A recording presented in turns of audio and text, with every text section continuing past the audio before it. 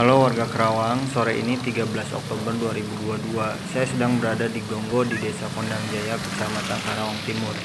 Menurut pantauan kami di lokasi, kondisi jalan mengalami banjir. Banjir ini diakibatkan adanya saluran air yang tertutup kabel telkom dan beton.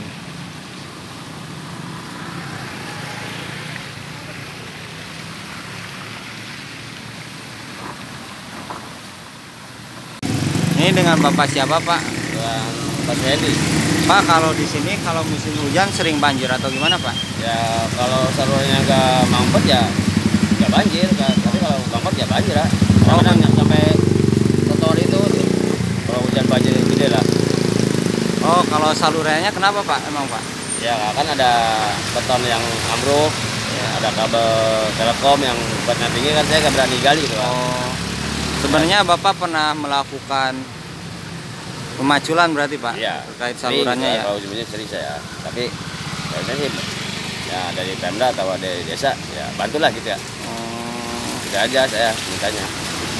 Nah, terkait banjir ini sering terjadi kecelakaan nggak, Pak? Ya, jarang sih, yang paling kebanyakannya ya ya barang-barang yang hilang. Ya kayak semacam ini lah, eh, tas jatuh, Oh. HP gitu doang nggak. Oh. jatuh nggak ada sih. Jadi harapannya kepada pemerintah gimana, Pak? Solusinya? Ya tolonglah bantu pak gitu aja. Minta ya tolong dibikin saluran apa gimana gitu. Kasihan yang kerja kita.